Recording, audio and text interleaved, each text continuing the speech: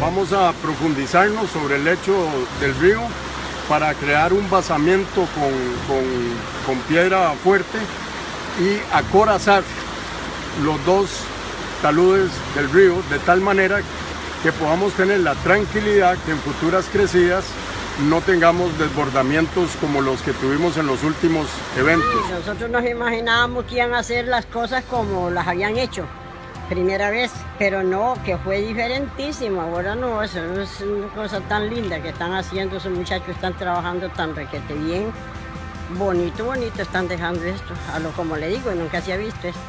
A partir del evento del huracán Otto, subió mucho la visibilidad de una situación acá en la laguna de Abrojo que tenía años de estar sin atender. Estamos visitando la zona en el marco de nuestra coordinación con la Comisión Nacional de Emergencias y con la Municipalidad de Corredores para verificar el inicio de los trabajos que nos van a permitir bajar el nivel de la laguna. Sí, hoy me llené de emoción de ver toda la maquinaria y la gente preocupada y, si se lleva a cabo lo más antes posible es mejor.